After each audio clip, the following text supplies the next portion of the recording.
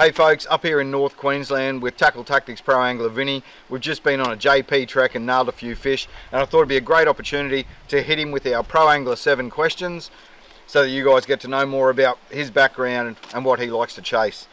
First question off the list, how did you get into fishing? Um, got into fishing through my old man actually. My old man's probably just as mad keen, if not more so than me.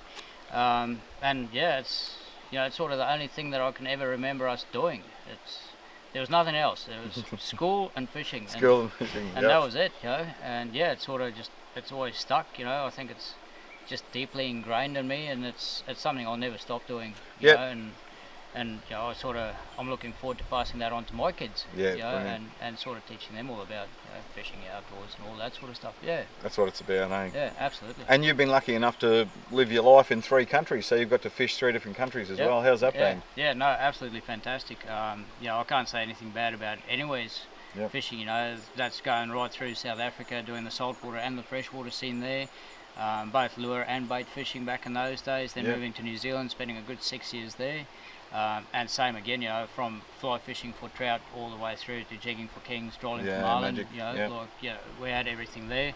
Um, but yeah, sort of Australia's fishing's always appealed to me ever since I was a kid. You know, when I was little, I got a, got my hands on a couple of magazines, and Murray cod and barra. They yep. were the standouts, you know, back in those days. And yeah, it's always been a lifelong dream to get here finally got here, moved straight to Townsville from New Zealand, and yeah, been here ever since. You and you're 13 in, years strong. You're in Barra country. I've got everything, all the all the best parts of yeah. my backyard. Oh, yeah. it is. It's a pretty awesome place. I've enjoyed the few days we've been here. It's opened my eyes like to what you guys have got on your doorstep. That's for sure. That's really what are a couple of your favourite species to chase? Um, look, barra would always be on the top of the list, but I, will never say that I've got an, an absolute favourite. Yep. You know, I think each different species that I do target you know, as, as, long as it eats a lure, it's my favourite. Yeah. You know? that, that's my thing. I think they all bring bring something yeah. different to the table. You know, like this morning we had, you know, cracking good surface session on Barra. Yeah. You know, nothing tops any surface fishing, but then we come and walk, you know, this pristine yep. country chasing jungle perch.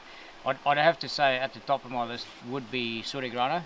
Yep. Um, you know, you find them in a variety of, surroundings and that sort of stuff, but just their, their pure ballsy aggressiveness, you know, like, there, there's not not many fish out there that, that just kill a lure, you know, like yep. they're so aggressive.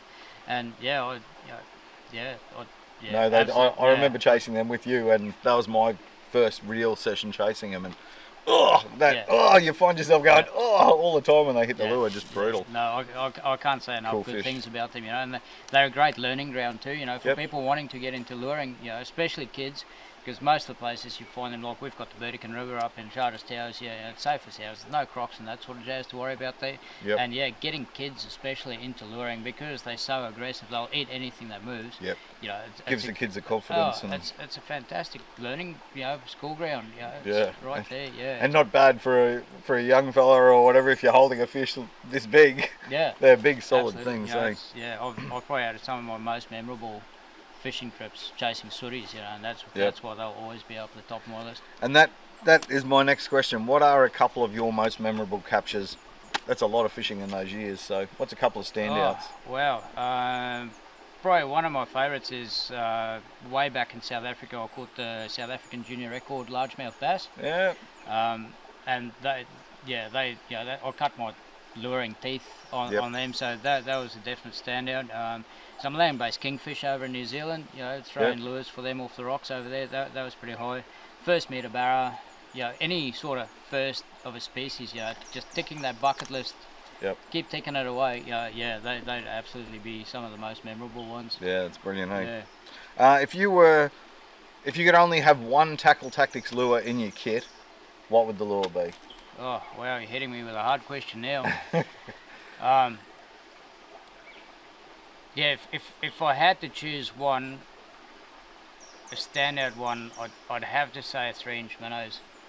Yeah, like good profile size. You can use them from the surface right down to, you know, deep dropping in 30 meters.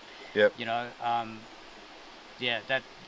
You're hitting me with the hard ones here. Yeah, I know that is that Yeah, is a tough one yeah, there's, I'd- I'd there's so many out, out of range. the Z-Man range, yeah, TT, uh, the Z-Man three-inch minnows, absolutely. Probably in pinfish colour. Yeah. Um, it's a good prawny slash buggy slash bait fish colour, so it's probably my. You're telling me, you're telling me that I'm making it tough for you, and now you're giving me a colour. Yeah.